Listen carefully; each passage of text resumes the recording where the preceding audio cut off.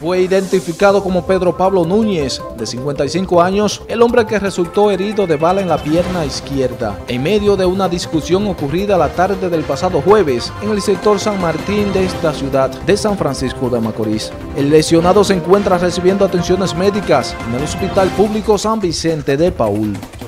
¿Eh? Eso, eso es, yo estaba defendiendo la mujer mía. Y este, que yo no... Eh, eh, ¿Eh? Eh, no, eh, porque yo estaba este, defendiendo a la mujer mía. ¿Y dónde fue eso? Eh, en, el punto de, de, de Paulo. En, en, la, en Ah, yo estaba en el punto, ok. Yo estaba dentro del punto. Entonces yo fui a comprar un cigarrillo al que estaba vendiendo a Elvi. Un cigarrillo a Elvi. Un cigarrillo a Elvi. Yo le fui a comprar. Entonces me estaba cobrando 10 por el cigarrillo. Yo le dije que no, que eran a 2 por 15. Pues entonces él se puso a discutir conmigo por eso. Y está. Salió de, adentro, parece que estaba aburrido, salió de adentro y me fue arriba a mí, me dio golpe. Me dio un galletón, Elvi, Elvi, el que estaba pesando, me dio golpe a mí.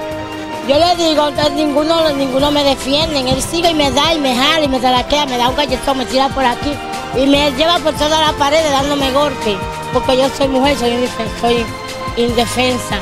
Entonces él, él que estaba detrás de la casa, él me oyó gritando porque me estaba dando, me estaba maltratando. Y él fue a defenderme. Entonces, eh, los otros, los, los, segunderos que están ahí, tú sabes que siempre están a lambones, él le pasó eh, una, una glow a Bimba. Entonces Bimba con esa glow le disparó a él.